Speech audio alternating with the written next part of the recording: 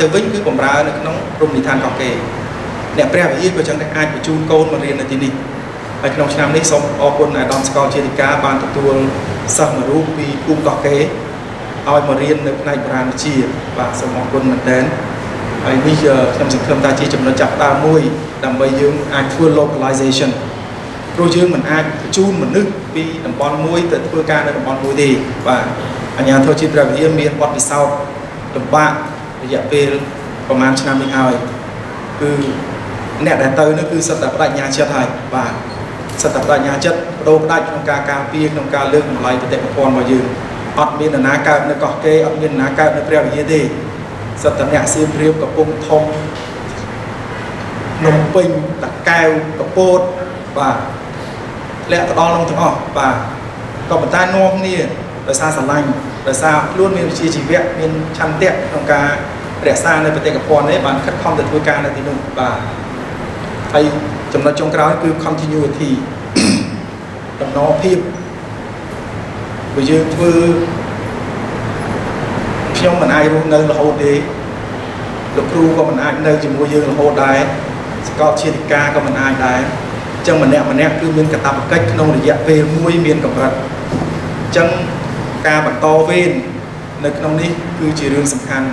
ហើយក៏ជួជាទួនាទីរបស់បងប្អូនទាំងអស់គ្នាដែលត្រូវតែខិតខំដើម្បីមកបន្តវេនបាទបន្តវេនជួយជ្រោមជ្រែងទាំងអស់គ្នាបានអាចទៅរួចបាទអញ្ចឹងខិតខំតពុកខ្ញុំប្រហែលអ្នកក្នុងចំនួននេះអ្នកចំនួនក្រោយគិតថាបានហើយអានោះវាអត់បានទេបាទអញ្ចឹងខ្ញុំគិតថាមកដល់ទីបញ្ចប់ហើយសម្រាប់ការចែករំលែកនៅក្នុងវិទ្យានេះ ហើយនៅក្នុងចុងក្រោយនេះខ្ញុំក៏សូមជូនពរទៅដល់និស្សិតទាំងអស់គឺសូមទទួលនូវជោគជ័យក្នុងការងារសិក្សារបស់ខ្លួនហើយនឹងឈានទៅដល់ការងារជោគជ័យនៅក្នុងអាជីពរបស់ខ្លួនបន្ទាប់ពីការរៀនសូត្រចប់បាទហើយនឹងមានអនាគតល្អទាំងអស់គ្នាហើយក៏សូមជូនពរលោកគ្រូឲ្យមានបច្ចុប្បន្នវែងសុខភាពល្អទាំងមីងដែរ រួមជាមួយនឹងសកលជាធិការនិងលោកគ្រូអ្នកគ្រូទាំងអស់សូមឲ្យមានសុខភាពល្អបរិបូរណ៍ដើម្បីជួយគ្នាក្នុងការកសាងអភិវឌ្ឍធនធានមនុស្សរបស់យើងតទៅមុខទៀតបាទសូមអរគុណ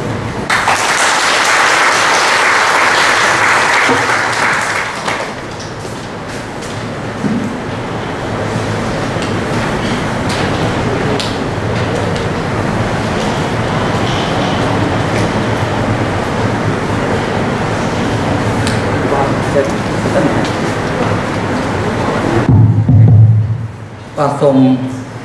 ថ្លែងអំណរគុណយ៉ាងជ្រាលជ្រៅចំពោះអាយដាមកៈយុដែលបានធ្វើបទបង្ហាញយ៉ាងក្បោះក្បាយតកតងទៅនឹងកិច្ចការរបស់អាជ្ញាធរជាតិព្រះវិហារដូចបងប្អូនតែខ្ញុំចង់ផ្ដោតទៅលើបងប្អូនដែលជានិស្សិតបានឃើញហើយការខិតខំប្រឹងប្រែងរបស់រដ្ឋាភិបាលរបស់អាជ្ញាធរដែលជាស្នាធិការរបស់រដ្ឋាភិបាលនេះតាំងពីការតតាំងក្តីរ ហូតយើងបានជ័យជំនះហើយយើងបានទៅខ្លាយទៅជាម្ចាស់ពិតប្រាកដនៅប្រទេសភ័ណ្ឌជាតិរបស់យើងយើងមានការឆ្លងកាត់ឧបសគ្គច្រើនណាស់ក្រោយមកយើងធ្វើការអភិរក្សយើងធ្វើការបន្តបណ្ដាលហើយមិនតាមប៉ុណ្ណោះអាញាធមមិនមែនត្រឹមតែឃើញទេមិនមែនធ្វើការត្រឹមតែ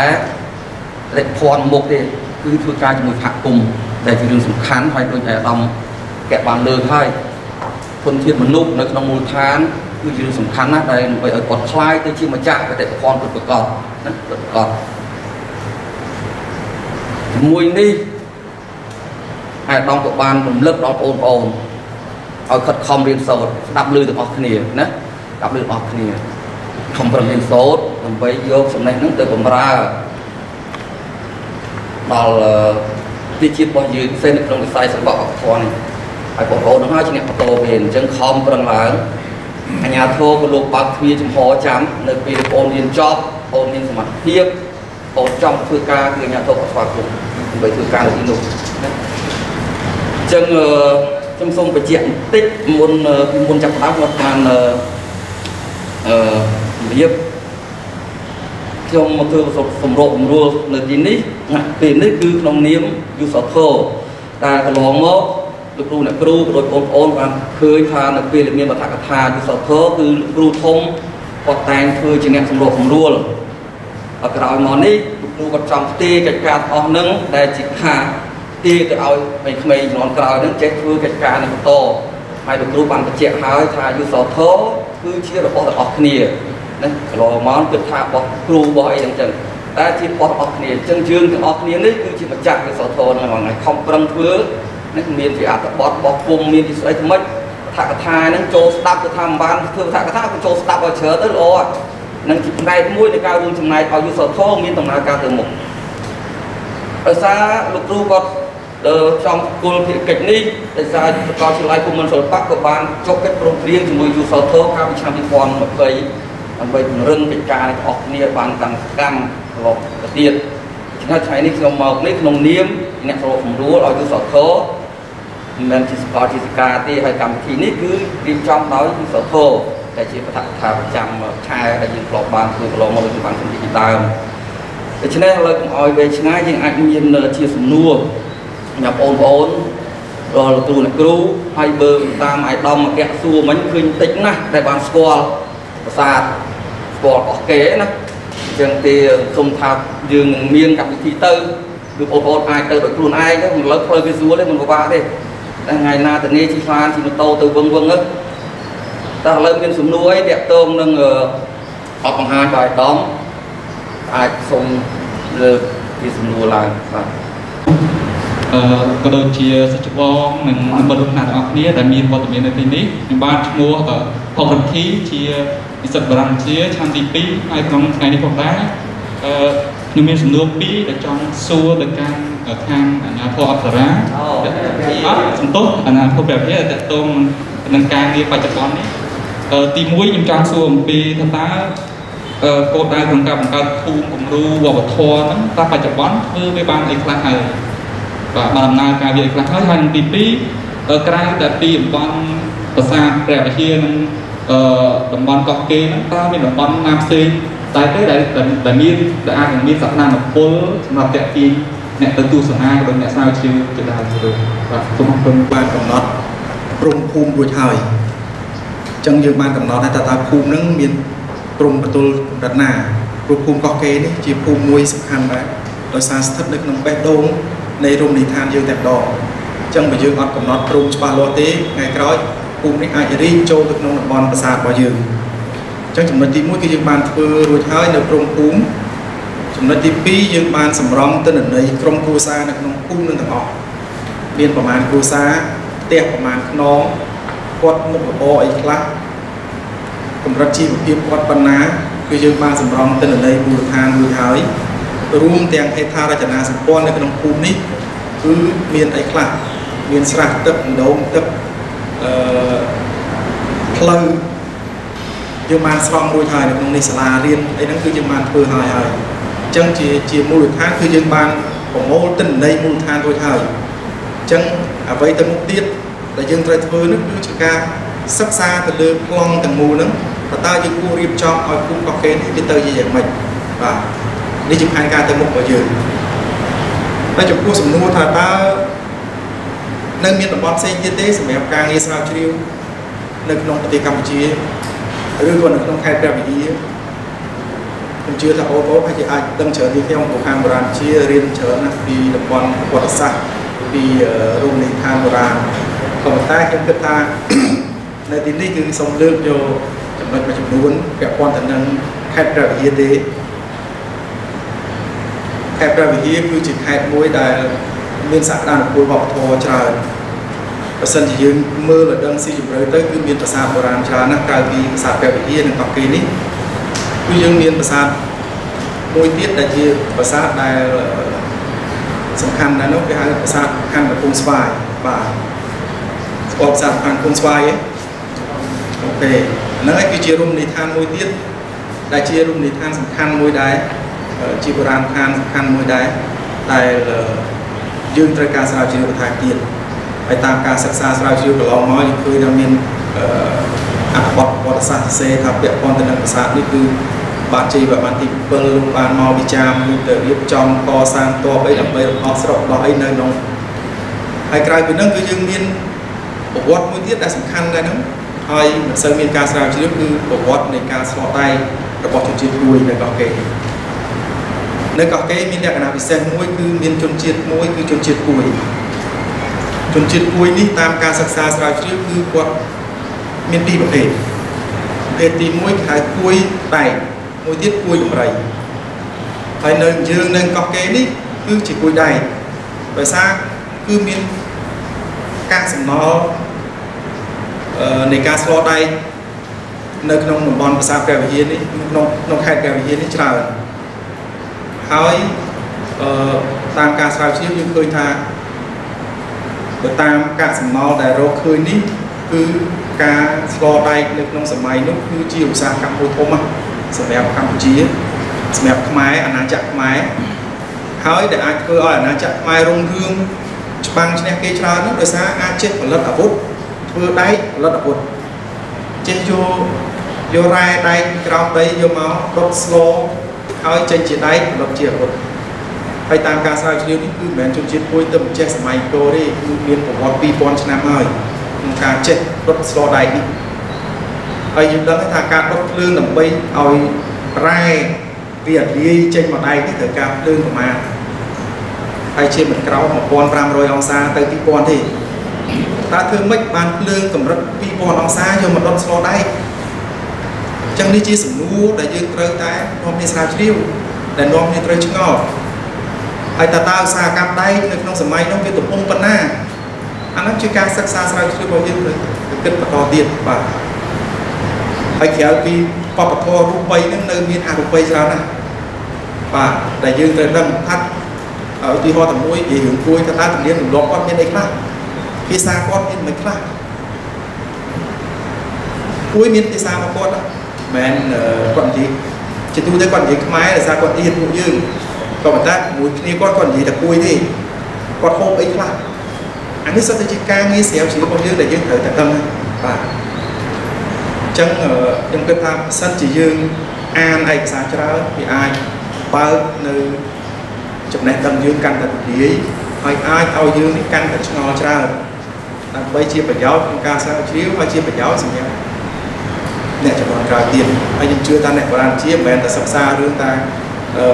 វប្បធម៌រូបិយទេអរូបិយនេះក៏ជាផ្នែកមួយដែរបាទជា ការជាការយកចិត្តទុកដាក់មួយដែរបាទអញ្ចឹងខ្ញុំសូមជំរាបជូនប៉ុណ្ណឹងក៏មានអីទៀតបាក់ដូរទៀតបាទអរគុណបាទសូមអរគុណតោះមានសំណួរអីទៀតបងប្អូនហើយមើលលោកគ្រូអ្នកគ្រូដែរតាមមហាវិទ្យាល័យមានមកនៅទីនេះមកហើយងាត់ឈឹងខ្ញុំយល់អស់ហើយ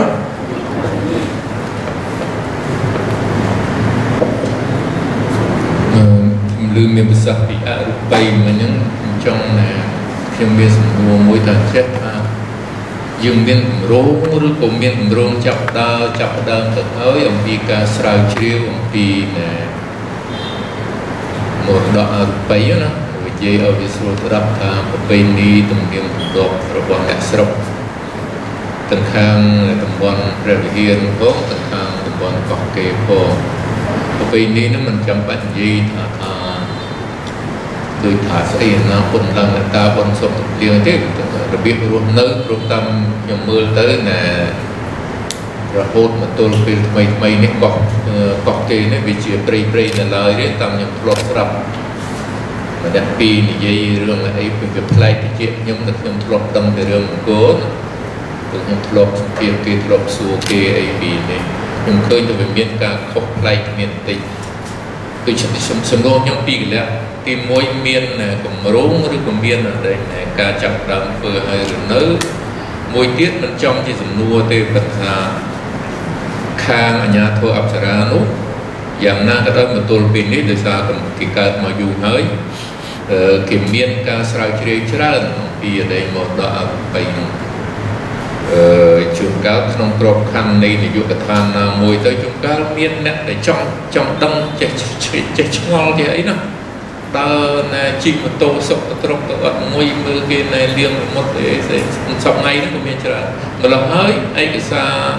អំពីតំបន់អង្គរខាងដែលមរតកអរូបីហ្នឹងវាមានច្រើនគួរសមដែរខ្ញុំយល់ថាដល់ខាងអាជ្ញាធរព្រះវិហារនេះវាធ្វើបានវែងឆ្ងាយទៅ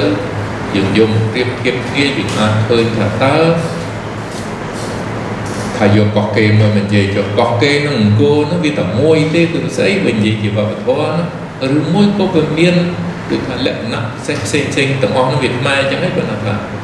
កោះគេគេមានស្អីរបស់គេដោយសារស្រុកគេវាប្រភេទព្រៃច្រើនជាងនឹងអង្គរវាមានស្រែប្រចិត្តទៅទន្លេសាបវាមានស្អីកោះគេផ្សេងខ្ញុំជឿថាអាចនឹងមិនខ្ញុំជឿទេខ្ញុំស្មានទេណាថាអាចនឹងពេលនេះនឹងមានកន្លែងពុកនេះច្រើននៅចំនួនខ្ញុំវាពីរលក្ខណៈ បាទសូមអរគុណលោកគ្រូអឺចំពោះសំណួរលោកគ្រូអឺចំណុចទី1នេះគឺពាក់ព័ន្ធទៅនឹងចំណុចទី1គឺអាជ្ញាធរជាតិព្រះវិហារបានចាប់ផ្ដើមតិចតួចហើយចំពោះការស្រាវជ្រាវវប្បធម៌អរូបីនេះដោយសារពីដំបូងមកដល់និយាយទៅតាំងពីបង្កើតមកដល់ឆ្នាំ2021នេះគឺយើងអត់ទាន់មាននយោបាយឋានស្រាវជ្រាវទេនយោបាយឋានស្រាវជ្រាវទើបតែកើតឆ្នាំ2020 ចុងឆ្នាំ2021ខែធ្នូនេះទេបាទក៏ប៉ុន្តែយើងមានខាងបុរាណវិទ្យាខាងបុរាណវិទ្យាកាលនោះគឺគាត់ទទួលបន្ទុកផ្នែកមួយដែរត្រូវតែសិក្សាស្រាវជ្រាវវប្បធម៌អរូបីដែរក៏ប៉ុន្តែដោយសារធនធានយើងមានកម្រិតយើងក៏មិនបានបង្កើតជារចនាសម្ព័ន្ធរហូតទៅដល់ការិយាល័យដែលទទួលបន្ទុកផ្ទាល់ដែរក៏ប៉ុន្តែយើងមានមន្ត្រីយើងដែលគាត់ចេះឆ្ងល់ចេះស្រឡាញ់ចេះចាប់អារម្មណ៍ដោយលោកគ្រូមានប្រសាសន៍អញ្ចឹងគឺជាកូនសិស្សលោកគ្រូដែរគឺធានទីអឺ លោកធានទីដែលគាត់រៀនបុរាណវិទ្យាខ្ញុំអត់ចាំដល់ចំនួនទីប្រមាណដែរតែគាត់ជាអ្នកលពឹកគាត់ជាអ្នកចង់ដឹងគាត់ជាអ្នកចូលទៅជាមួយអ្នកភូមិនឹងអញ្ចឹងគាត់តែងតែមកវិញគាត់ទៅសេពីរបៀបតម្បាញកទេលអំពីរបៀបអឺនៃការឡើងមេមត់របស់អ្នកភូមិអញ្ចឹងទៅអញ្ចឹងគាត់បានចាប់ផ្ដើមជាអត្ថបទខ្លីៗក្នុងមួយទំព័រពីរទំព័រនេះគឺយើងបានចាប់ផ្ដើមបែរជាបាន4 10 20អ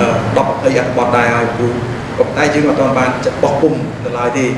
ដោយសារយើងត្រូវការមានការអ្នកត្រួតពិនិត្យដើម្បីអឺពិនិត្យមើលទៅលើ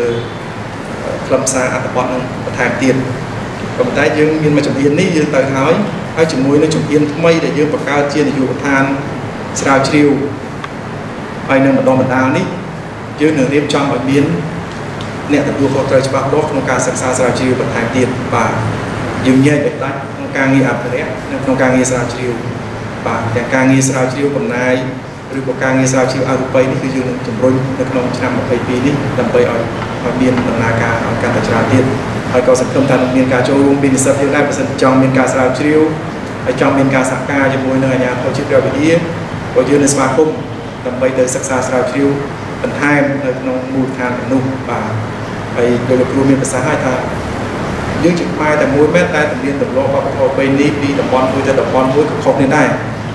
ទាំងភាសានិយាយអ្នកសៀមរាបហើយនិងអ្នកភ្នំពេញក៏និយាយបណ្ដូចគ្នាដែរគឺវាមានលក្ខណៈអៀងគ្នាតិចតួចការហូបចុកក៏ខុសគ្នាដែររបៀបនៃការរស់នៅក៏ខុសគ្នាដែរបាទអញ្ចឹងខ្ញុំជឿថាអ្នកបកគេនេះក៏មានលក្ខណៈប្រឡែកខុសពីកូនតែដែរតែអ្វីខ្ញុំចាប់អារម្មណ៍គឺអ្វីដែលយើងឃើញជាងគេនោះគឺវប្បធម៌នៃការដុតព្រៃ ឲ្យតែខែប្រាំងគឺអ្នកកគេដុតព្រៃហើយហើយនៅអង្គរខ្ញុំអត់ដែលឃើញគេដុតព្រៃទេឬក៏តំបន់ផ្សេងផ្សេងអត់ដែលមានទេតែអ្នកកគេគឺដឹងតែដុតហើយហេតុអីបានដុតគឺគាត់ត្រូវការស្មៅឲ្យគូបាទអញ្ចឹងអត់ដុតទេអាស្មៅថ្មីហ្នឹងវាអត់ឆេះអត់អត់ដុះឡើងវិញទេអញ្ចឹងគូគាត់អត់មានអីស៊ីទេហើយអ្នកភូមិកោះគេនេះគឺចិញ្ចឹមគោមិនមែនដាក់នៅក្រោមផ្ទះដូចអ្នកកលេទេ 10 20ក្បាលប្រឡែង3ខែទៅបានទៅរកម្ដងបើចង់ទៅរកគោមកហូបគឺដើរទៅក្នុងព្រៃរកគោហ្នឹងយកទៅអញ្ចឹងឲ្យទៅតាមដំណើររបស់គោហ្នឹងទៅអញ្ចឹងគាត់ដុតព្រៃដើម្បីឲ្យគោគាត់មានចំណីដែរអញ្ចឹងគឺជាជាលក្ខណៈប្លែកមួយដែលក្នុងកោះកេរខុសពីតំបន់ផ្សេងបាទសូមអរគុណលោកគ្រូសង្ឃឹមថាបានឆ្លើយសំណួរលោកគ្រូសូមសូមសូមអរគុណអឺមានទៀតមកអឺខាងបុរាណវិទ្យាអឺ នេះនេះនេះក្រោយអាណានេះណា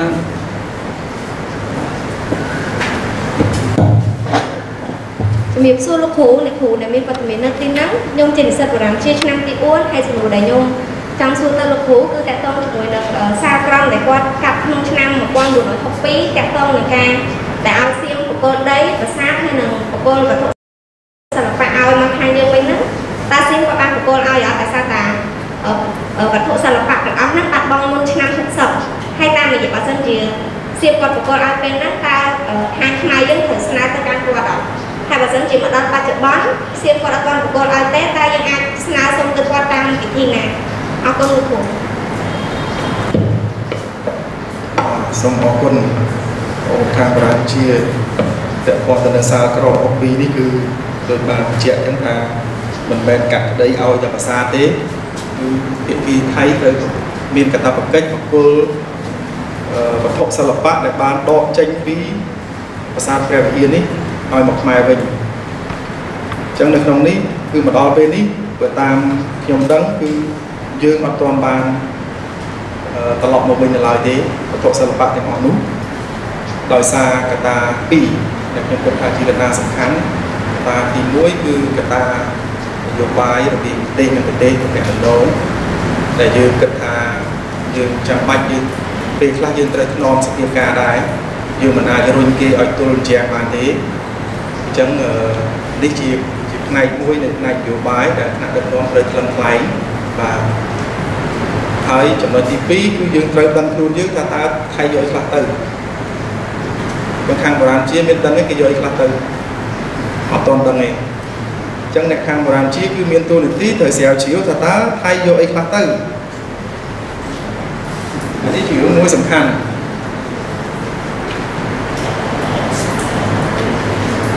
នេះពីជប់កន្លែងនេះខ្ញុំមានឃ្លាមួយដែលគេបាននិយាយខ្ញុំសូមឲ្យខាងបុរាណជាជួយស្រាវជ្រាវទៅលើឯកសារនេះថែមគឺនេះ Thailand is under an application មកថានៅក្រោមកាតព្វកិច្ចត្រូវប្រគល់ឲ្យកម្ពុជាវិញនៅវត្ថុសិល្បៈ ដែលបានបញ្ជាក់នៅក្នុងឯកសារដែលកម្ពុជាបានបានដាក់ទៅលើកទី5អញ្ចឹងអា fifth submission ហ្នឹងគឺប្រហែលជាមាន list of uh, objects ដែលយើងត្រូវស្នើសុំមកវិញតែយើងអត់ដឹងថាអាអា fifth submission ឯកសារហ្នឹងនៅណាវាដែរឃើញឥឡូវហ្នឹងអញ្ចឹងជា subject នៅក្នុងការស្រាវជ្រាវទាំងអស់គ្នាក្នុងការស្វែងរកទាំងអស់គ្នាតើតើ នៅក្នុងហ្នឹងកម្ពុជាយើងបានស្នើវត្ថុសិល្បៈអីខ្លះបាទអញ្ចឹងបើយើងដឹងថាយើងបានស្នើអីខ្លះហើយអានឹងវាជាមូលដ្ឋានមួយដែរនៅក្នុងការចរចាជាមួយគេហើយបើយើងអត់ដឹងអានឹងទេយើងក៏អត់មានមូលដ្ឋានក៏បានដែរយើងត្រូវការស្រាវជ្រាវឡើងវិញទាំងអស់ហ្នឹងហើយស្រាវជ្រាវមិនដឹងនៅណាខ្លះផងដឹងប្រហែលចំនួនហ្នឹងតាម62មកអញ្ចឹងទេអាហ្នឹងគឺយើងត្រូវធ្វើទាំងអស់គ្នាត្រូវកសាងឯកសារឲ្យរឹងមាំ ដើម្បីយើងអាចធ្វើការចរចាជាមួយគេបានហើយនៅពេលដែលយើងរៀបចំឯកសារបច្ចេកទេសនេះហើយគឺទុកឲ្យកម្រិតនយោបាយគាត់សម្រាប់ចោះបាទតើពេលណាគួរតែនិយាយទៀមទាមកវិញហើយក្នុងថ្មីថ្មីនេះខ្ញុំឃើញថាក្រសួងវប្បធម៌ក៏បានធ្វើការចរចាសម្របសម្រួលទៀមទាស្នើសុំឲ្យថៃបកគលនៅវត្ថុសិល្បៈមួយចំនួនដែលបានលួចពីកម្ពុជាទៅហើយហើយថៃក៏បានបញ្ជូនមកវិញខ្លះហើយតែនៅមួយចំនួនទៀតអញ្ចឹង ក្នុងចំណុចនេះខ្ញុំជឿថាបើយើងប្រឹងប្រែងទាំងអស់គ្នាយើងអាចរកឃើញឯកសារនេះគឺយើងអាចជាមានមូលដ្ឋានមួយដែរបាទចឹងបើសិនជានេះយើងអាចដាក់ជាប្រធានបទសញ្ញាការស្រាវជ្រាវទាំងអស់គ្នាបាទសូមអរគុណ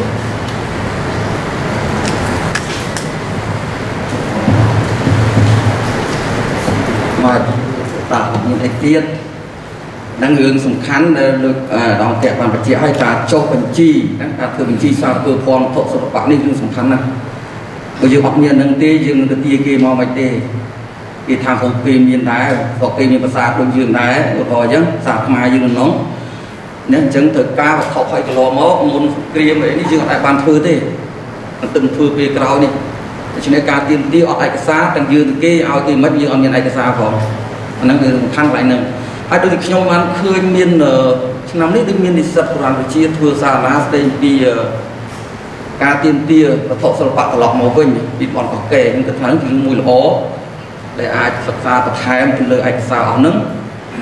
ពីព្រោះយើងឃើញឥឡូវវត្ថុមកច្រើនហោហែប៉ុន្តែឯកសារវាលបាក់លបាយយើងយកប្រមោមកចងម្ដងក៏ជាល្អដែរហ្នឹងជាកិច្ចការរបស់យើងបាច់ទៅធំដុំហ្នឹងខ្ញុំគិតថាដូចមានសិស្សម្នាក់នេះខ្ញុំបានឃើញសរសេរហ្នឹង តោះឥឡូវមានអីទៀតមកលោកសល់ដល់2មកដល់មួយម្ដងឲ្យជុំទៅព្រឹទ្ធបរិសបច្ចកម្មមុនសួរខ្ញុំខ្ញុំឃើញនៅក្នុង slide ចុងក្រោយថាជាយើងជ្រើសរើសយកកោះគេធ្វើជា module ស្អី module village ឬក៏តែខ្ញុំទុកក្នុងវត្តកន្លែងហ្នឹងបាទគូបបធរចង់សួរថាតើ ហេតុអីបានជាយើងយើងជ្រើសរើសយកកកកេធ្វើជាគូបបធរវាមានចំណុចពិសេសអីដែលយើងពិចារណាទៅលើហេតុផលហ្នឹងបាទគុណគួរមួយមួយទៀតឲ្យបងអឺសុំម្នាក់ទៀតមកអឺនឹង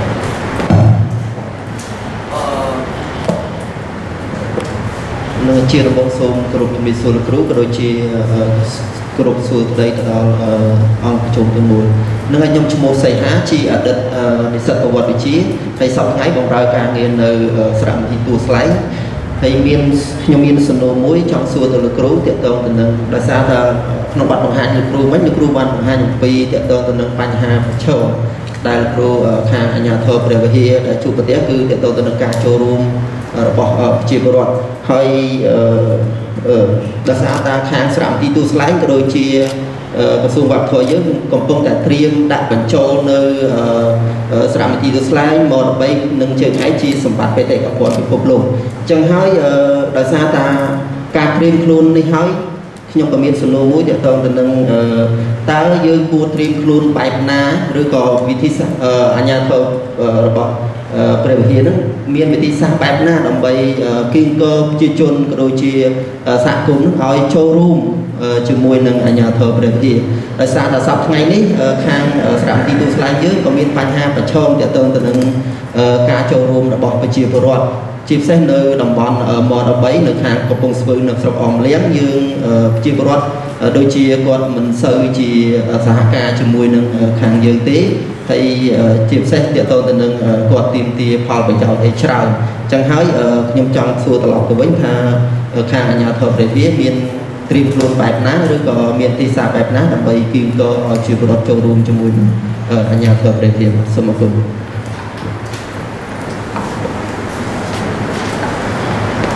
បាទសូមអរគុណចំពោះសំណួររបស់លោកគ្រូដែលបានសួរទៅនឹងនិស្សិតរបស់យើង តែប៉ុន្តែនៅចំណុចទី1ហេតុអីបានអាជ្ញាធរជាតិព្រះវិហារជ្រើសរើសយកភូមិកោះកេរសម្រាប់ធ្វើជាភូមិបេតិកភណ្ឌវប្បធម៌គំរូមួយសំណួរនេះគឺខ្ញុំសូមជម្រាបជូនថាទី1គឺដោយផ្អែកទៅលើទីតាំងទីតាំងរបស់ភូមិកោះកេរនេះ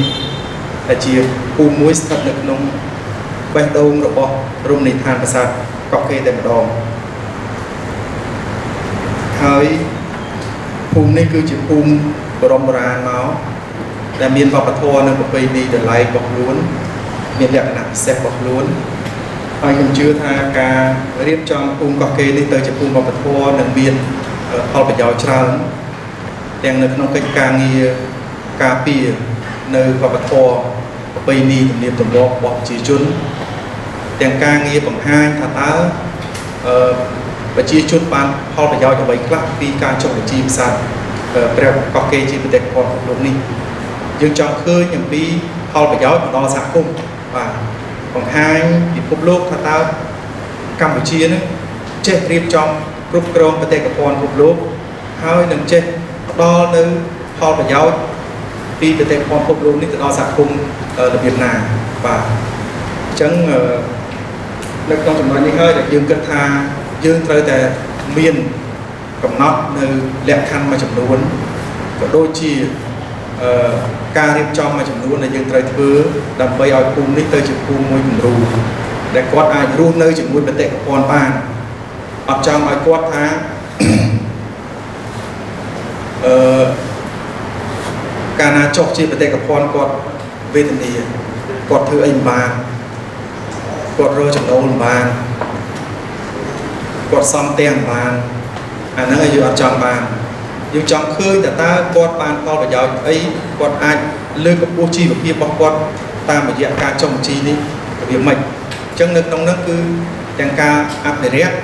ទាំងការឲ្យផលប្រយោជន៍គាត់ទៅលើវិស័យទេសចរឬក៏គាត់អាចលក់ផលិតផលរបស់គាត់អនុផលព្រៃឈើឬក៏ផលិតផលទេសចរដែលកែច្នៃហ្នឹងដើម្បីឲ្យមកទេសចរនេះអញ្ចឹងអឺ ខ្ញុំគិតថាវាជ្រើសរើសភូមិកោះកេរនេះជាជាចំណុចយុទ្ធសាស្ត្រមួយដែលយើងអាចធ្វើទៅបានហើយក៏ជាភូមិចាស់បុរាណដែរហើយដែលឡែកភូមិផ្សេងផ្សេងគឺនៅខាងក្រៅតំបន់របស់យើងទេគឺមិនមិនសូវពាក់ព័ន្ធទៅនឹងមិនសូវពាក់ព័ន្ធទៅនឹងរមណីយដ្ឋានរបស់យើងហើយក៏មិនសូវរក្សាបាននៅប្រពៃណីនិងទំនៀមទម្លាប់ដូចអ្នកកោះកេរដែរបាទបើសិនជាយើងទៅដល់ភូមិកោះកេរ ហើយនឹងភូមិខាងក្រៅយើងឃើញថាភាពខុសគ្នាទាំងស្រុងតែម្ដងបាទទាំងពីរបៀបនៃការរស់នៅទាំងពីទំនៀមទម្លាប់គឺនៅខុសគ្នាបាទសយំហើយកោះកេរគាត់តែមួយបត់ច្រកមួយនៅក្នុងរមណីយដ្ឋានរបស់យើងគឺមានភាពខុសគ្នាបាទអញ្ចឹងខ្ញុំគិតថាយកភូមិនឹងមួយជាភូមិគំរូបាទសម្រាប់បេតិកភណ្ឌថ្ងៃក្រោយយើងតទៅទៀត ព្រោះយើងមិនព្រោះយើងមិនអាចចុះជាបេតិកភណ្ឌពិភពលោកមែនតែយើងអាចជាបេតិកភណ្ឌជាតិដែលយើងអាចរៀបចំឲ្យមានភូមិគំរូទៅថ្ងៃអនាគតដែរចំពោះសំណួរទី2របស់ខាងស្រាប់ទីទួលស្លែង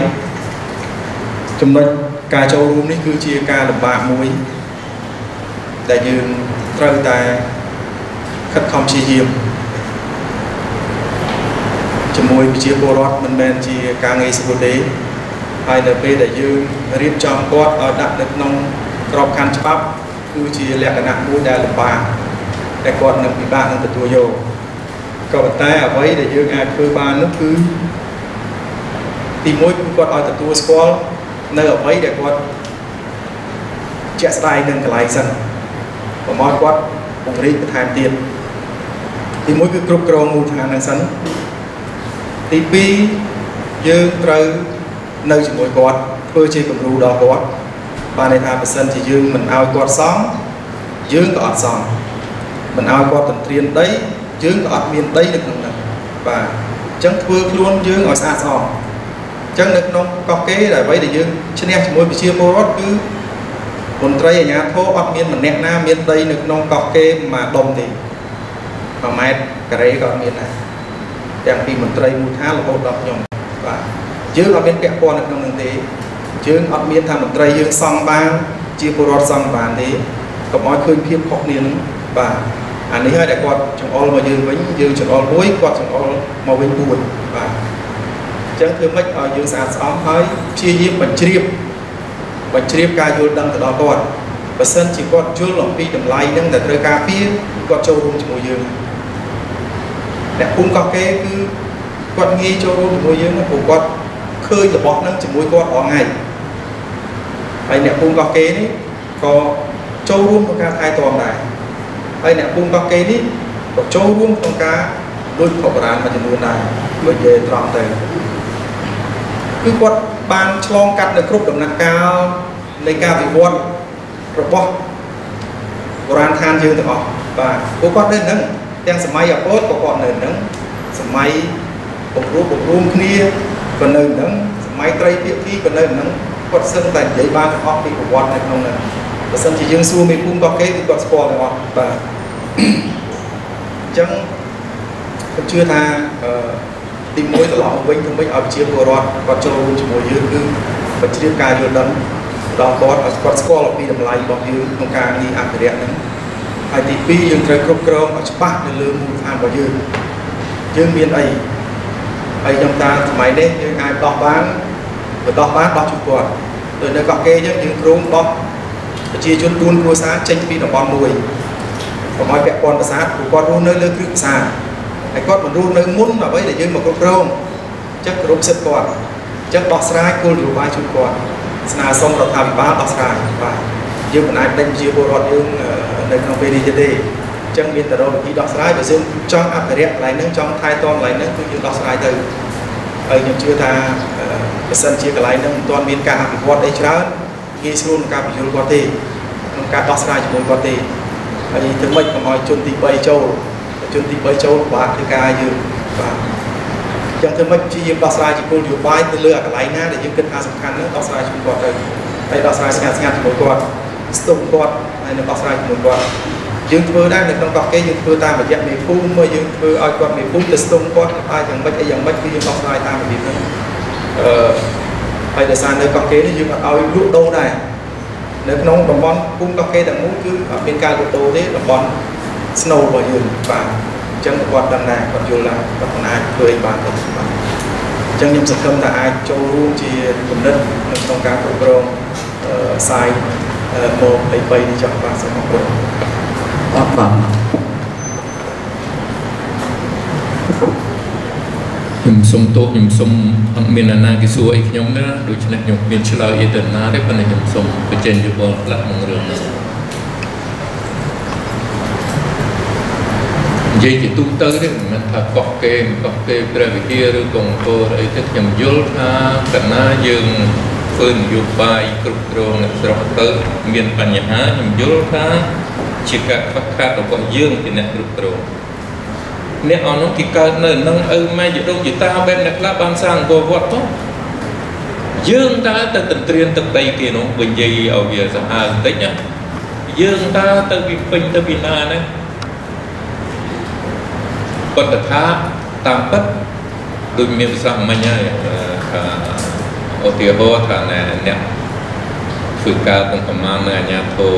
នឹងនៅកោះកេរនៅអីហ្នឹងតាំងពីតូចដល់ធំមានអ្នកណាម្នាក់តែមានដីក្នុងហ្នឹង1ម៉ែត្រការ៉េអាហ្នឹងមួយអាហ្នឹងគឺថាជាចំណុចខ្លាំងមួយឲ្យអ្នកស្រុកគេមើលអាកន្លែងហ្នឹងវាអត់ដូចនឹងគោនឹងគោទៅហាមអាគ្នាធ្វើត្រង់មន់ណានោះហើយអាអាកបើករេស្តូរ៉ុងចិត្តដល់គោវត្តហើយអត់អីដោយសារមួយធំមួយតូច ហើយវាជាតែខ្ញុំថាយើងទៅធ្វើសម្បើមដាក់គេណាយើងមិនដឹងខ្យល់អីយើងបារមីទៅពីណានោះឥឡូវខ្ញុំឲ្យទីហោជាក់ស្ដែងដែលកើតឡើងលើគ្រួសារខ្ញុំថ្មីថ្មីនេះទៅទស្សនាប្រាសាទនាគពន្ធគេទៅមើលតាំងពីណាពីណីមកនាគពន្ធណាណាគេទៅមើលក៏មកទៅថាទៅលួចថ្មស្រាប់តែឥឡូវនេះត្រូវដើរសួរតាមសិនមិនចេះទៅចូលបានតាមចិត្តទេពួកកន្លែងហ្នឹងបុរាណដ្ឋាននោះគេចេះអ្នកប្រាជ្ញគ្រប់គ្នាឥឡូវបារមីណា បាទព្រោះកន្លែងហ្នឹងគេសម្រាប់ព្យាបាលរោគហេតុម៉េចក៏មិនចង់មើលកន្លែងនេះមិនក៏ចង់ទៅមើលកន្លែងនោះផ្សេងៗឥឡូវដល់ថ្នាក់ហ្នឹងយើងមកពីណាពីណីអត់ខ្យល់អីទេទឹកដីរបស់គេទេយើងមករុករៀនកន្លែងគេទេបើនិយាយឲ្យវាអស់ប៉ុន្តែយើងមិនទៅរុករៀនក្នុងពូននោះអក្រក់យើងទៅគ្រប់គ្រងយើងមិនគេនិយាយបែបឆ្ងាយរឿងហ្នឹងប៉ុន្តែយើងត្រូវដឹង ដូចយើងដែលកន្លែងមានស្រុកស្រែមួយថ្ងៃមួយយើងធ្វើថ្នល់កស៊ូយ៉ាងហើយយើងទៅខឹងថាអ្នកស្រុកនឹងប្រឡែងគោប្រឡែងក្បីដើរកាត់ថ្នល់យើងគិតឲ្យមែនតើមកភូមិនោះមាននឹងការមុនថ្នល់នឹងធ្វើណាអ្នកស្រុកអស់នោះមានគោក្បីនោះជួនកាលទុកវាមិនឈ្នះវាមួយមកអីចឹងទៅវាបុកឡានបុកម៉ូតូគ្រោះថ្នាក់ជាអកុសលអញ្ចឹងណាប៉ុន្តែយើងគិតឲ្យវែងឆ្ងាយសិនទឹកដីរបស់អ្នកណាជារស់នៅ ប៉ុន្តែខ្ញុំត្រឡប់មកគំនិតណែយោបល់ខ្ញុំពីដើមវិញខ្ញុំយល់ថាបើយើងធ្វើទៅវាខ្វះខាតកន្លែងណាអានឹងគឺជាការខ្វះខាតរបស់យើងមិនមែនរបស់គាត់ពួកយើងបញ្យល់គាត់មិនអស់យើងឲ្យឧទាហរណ៍ល្អគាត់មិនអស់យើងរកខ្ញុំមិននិយាយខាងណាណាទេណាខ្ញុំនិយាយនេះនិយាយទូទៅទេយើងខាងអភិវឌ្ឍជនបទយើងធ្វើមិនដល់អភិវឌ្ឍសេដ្ឋកិច្ចជនបទក្នុងកំពុងនោះមិនមែនថាឲ្យបង្កើតរោងចក្រទេ ណាយើងយើងជួយកូនអ្នកស្រុកឲ្យបានទៅជាមគ្គទេសចរនៅកន្លែងខ្លួនឯងឬមួយក៏បានមករៀន archaeology នេះបានទៅពេលឆ្ងាយថ្ងៃក្រោយទៅធ្វើជាជាតិណែណែតែអ្នកស្រុកកូនអ្នកស្រុកកោះគេម្នាក់ថ្ងៃក្រោយទៅទៅជាណែណែអគ្គនាយកអាជ្ញាធរណែព្រះវិហារផងគប់គេយើងនិយាយអបដគឺថាអន្តិតិចទាំងអស់ហ្នឹងដែលធ្វើឲ្យអ្នកស្រុកចូលជាមួយយើង ពួកយើងទៅក្រោយសូមអរគុណសូមអរគុណគ្រូយើងខ្វះ5ម៉ោង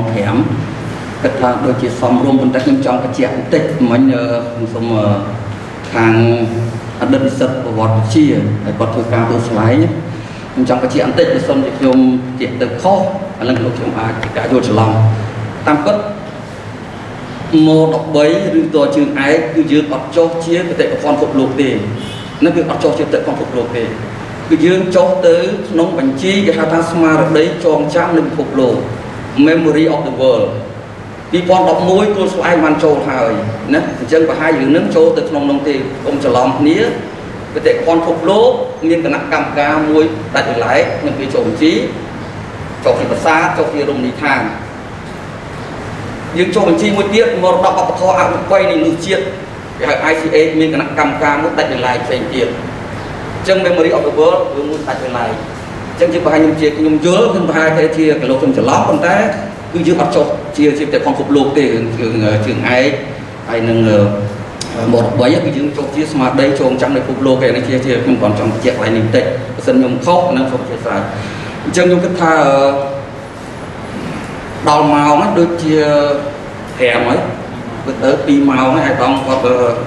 រៀងស្អាតកដែរហើយហើយខ្ញុំគិតថាសំរុំ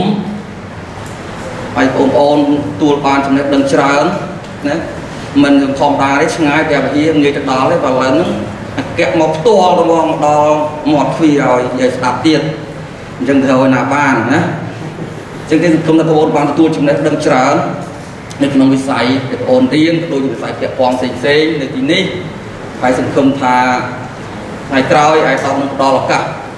អញ្ជើញមកទៀតទៅតាមការរៀបចំរបស់យុសធរដើម្បីឲ្យលោកចែករំលែកនៅអ្វីដែលជាលទ្ធផលថ្មីថ្មីរបស់ញាធរដែលបានធ្វើខិតខំប្រឹងប្រែងហើយអ្វីដែលយើងសង្ឃឹមទាំងអស់គ្នានោះនៅថ្ងៃអនាគតដ៏ខ្លីខាងមុខ រមណីយដ្ឋានប្រាសាទកោះកេរនឹងអាចចុះបញ្ជីជាបេតិកភណ្ឌពិភពលោកនេះគាត់តែសង្ឃឹមទេប៉ុន្តែយើងចាំមើលលទ្ធផលរបស់លើនឹងគេប្រងប្រជុំនៅរុស្ស៊ីប្រជុំថ្ងៃប្រហែលនៅរុស្ស៊ីឥឡូវរុស្ស៊ីឲ្យគង់ឈ្លោះគ្នាអុយក្រែងនឹងប្រជុំកម្មការតែលោកលើកពេល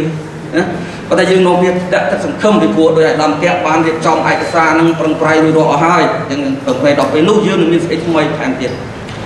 តែមុននឹងបញ្ចប់ខ្ញុំបាទសូមឆ្លៀតឱកាសនេះជាថ្មីម្ដងទៀត រកថ្លែងមកគុណពួកអាដាមកនាយកដែលបានឆ្លៀតពេលវេលាដ៏មមាញឹកនិងមានតម្លៃអញ្ជើញមកចូលរួមមកធ្វើប្រធាកថាចែករំលែកចំណេះដឹងបទពិសោធន៍និងទស្សនៈទានល្អល្អទៅដល់បងប្អូននិស្សិតដូចជាលោកគ្រូអ្នកគ្រូរបស់យើងនៅទីនេះហើយយើងសង្ឃឹមថានឹងបានទទួលអ្វីនៅថ្មីបន្តទៀតដែលយើងមានកិច្ចសហការជាមួយគ្នាហើយដែលយើងនឹងខំប្រឹងទាំងអស់គ្នាគោលបំណងរបស់យើងគឺ ការការពារការថែរក្សាការលើកតម្លៃមកដល់វប្បធម៌ដែលជាអត្តសញ្ញាណជាតិរបស់យើងទាំងអស់គ្នាខ្ញុំសូមគ្រប់ជូនពរដល់អង្គពិធីទាំងមូលសូមជួបផ្ទះតែនឹងក្តីសុខក្តីចម្រើនពិសេសសូមជៀសឆ្ងាយនៅ COVID-19 ឲ្យប្រកាន់ខ្ជាប់នៅវិធានការការពារណាកុំឲ្យផ្លោះធ្លោយឥឡូវនេះមិនទាន់ទៅណាឆ្ងាយទេប៉ុន្តែយ៉ាងហោចណាស់ពោភាសាដែលអាចឲ្យយើងមកធ្វើបឋមជួបជុំគ្នាចេះបាន តែតែបើយ៉ាងណាគឺនៅកបលកបលខ្លួនខ្ញុំទឹកជាដែរទេនិយាយអត់មានលក្ខទេប៉ុន្តែច្រើនទៅឆ្លងបើសម័យកូវីដមិនឆ្លងកូវីដមិនកើតបាទអញ្ចឹងសូមចប់ប៉ុណ្ណេះសូមអរគុណបាទសូមអរគុណ